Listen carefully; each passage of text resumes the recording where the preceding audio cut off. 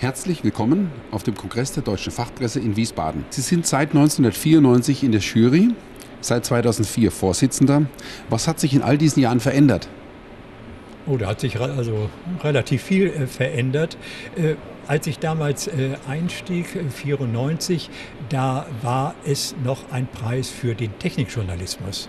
Und entsprechend waren die Beiträge auch viel stärker insiderorientiert. Der Preis, das wissen Sie ja schon, hat sich dann verändert in Richtung eines fachjournalistischen äh, Preises.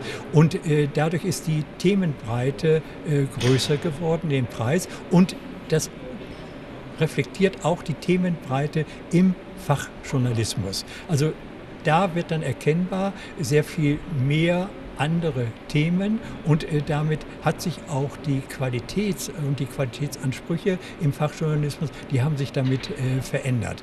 Was richtig auffällig ist, ist, dass es jetzt nicht nur Detailwissenvermittlung gibt, äh, sondern dass man äh, sich in den äh, fachjournalistischen Beiträgen auch mit den Strukturen der Branchen beschäftigt. Und zwar kritisch und analytisch. Sie haben gerade den Wandel der fachjournalistischen Qualität angesprochen. Welche Rolle spielt heute die Qualität im Fachjournalismus überhaupt im Mediengeschäft? Das ist nicht äh, einfach zu beantworten, äh, weil natürlich äh, das Spektrum sehr breit ist. Sie wissen, äh, wie viel Hunderte bis Tausend Titeln es im Fachjournalismus gibt und dadurch unterschiedliche redaktionelle Voraussetzungen. Aber ich glaube, der Fachjournalismus bekommt eine Veränderung durch die neuen technischen Medien, durch die Internetangebote.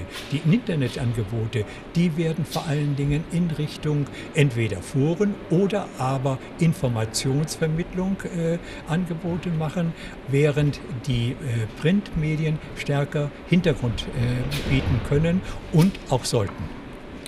Internet, Informationsvermittlung, Social Media. Äh, was glauben Sie, wohin geht es mit dem Journalismus überhaupt in der Zukunft? Also wenn ich das wüsste, dann würde ich ja hier andere Honorarforderungen stellen. Also so genau weiß ich äh, das äh, nicht. Aber ich glaube, dass das, was wir kurz angesprochen haben, dass dieser Hintergrundaspekt für die Print Version im Fachjournalismus, dass der wichtiger wird. Ich hoffe, ich hoffe, äh, dass die Breite der journalistischen Formen im Fachjournalismus ausgeprägter ist. Ich befürchte, dass die redaktionellen Kapazitäten im Fachjournalismus weiter begrenzt und beschränkt werden. Also Sie sehen, das ist ein äh, vielschichtiges äh, Gebilde, was sich dort äh, zeichnen lässt. Wohin dann die Reise genau geht, das werden Sie, Herr Schunk, sorgfältiger beobachten als ich. Nun sind Sie ein in allen publizistischen Wassern gewaschener Medienkenner ähm, und haben sich viel mit verschiedenen Medienarten beschäftigt. Was ist dann das Besondere für Sie an den Fachmedien jetzt im Speziellen? Also schon eine besondere Qualität Ihrer Fragen, äh, dass sie gewissermaßen universale Antworten äh, äh, erfordern. Die kann ich nicht geben. Aber äh, wir haben ja schon ein paar Punkte angesprochen.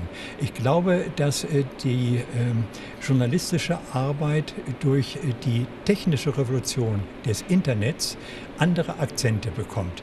Die Aktualität die aktuelle Information wird sich immer stärker auf die elektronische Seite hin verlagern. Aber das ist eine knappe, gewissermaßen in Überschriften und Schlagzeilen verdichtete Information.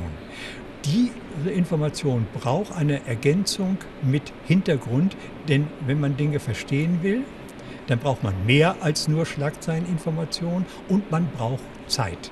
Dadurch äh, werden also die Printangebote Verstehensangebote sein und Hintergrundinformationen liefern, so dass tatsächlich zwischen der Aktualität im Internet und im Hintergrund im Print eventuell ein vernünftiges Arbeitsverhältnis entstehen kann. Beide Mediensektoren wetteifern um ein sehr knappes Gut, um die Aufmerksamkeit äh, im Publikum. Das ist ein sehr knappes Gut.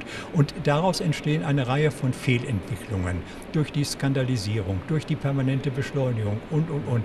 Da wird es schwierig, dass der Journalist und dass der Journalismus das leistet und leisten kann, wofür sie und er, der Journalismus, angetreten ist.